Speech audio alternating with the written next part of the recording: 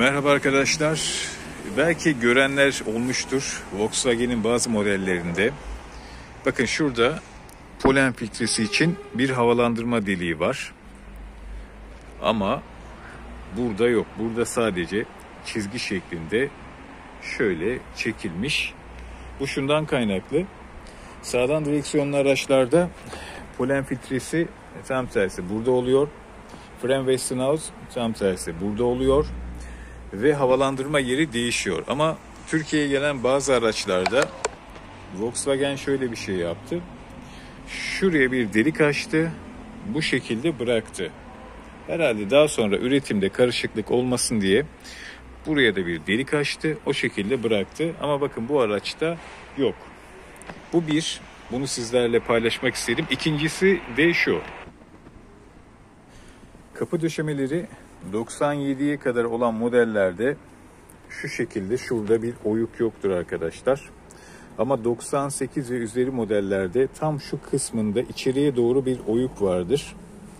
Bunu Volkswagen neden böyle yaptı bilmiyorum. Belki şuraya fazla dayanmasın diye olabilir. Karavel modellerinde burası düzdür. Bu iki. Üçüncüsü tabi yapılan güncellemeler 2000 modellerde fabrika şuralara bant çekti arkadaşlar. Şöyle geliyor. Folyo diyelim ben size, diyeyim size. Arkaya kadar, arka çamurluğun hilaline kadar gidiyor. Yapılan güncellemeler 98 değil de 2000 modellerde genellikle var. Bir de şurada ikili koltuklar var.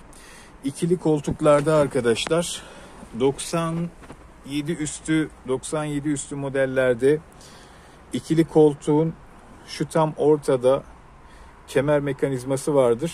O yüzden bu ikili koltuk öne doğru yatmaz. Ama 98 altı modellerde bu araba 97 model bunun öyle bir mekanizması yoktu ve bu yaslanma yeri öne doğru yatıp masa oluyordu. Çünkü şurada bir mandalı vardı. Tabii ki ben koltuğu değiştiğim için şu an bunda böyle bir şey yok. Aklıma gelen değişiklikler bunlar.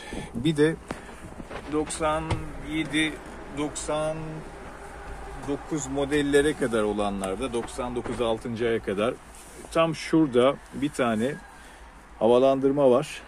Tabii bunu biz değiştik komple. 2000 model yaptık arabanın içini. O havalandırmada hava filtresinin kirliliğini gösteriyor.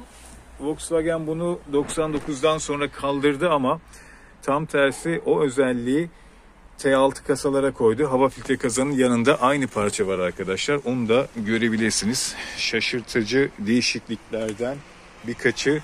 Aklıma gelenler bunlar. Tabii 99 6. aydan itibaren artık mavi kilometreli aydınlatma, yeni tip orta göğüs, şurada bardaklıklar gibi şeyler eklenmiş bulunmakta.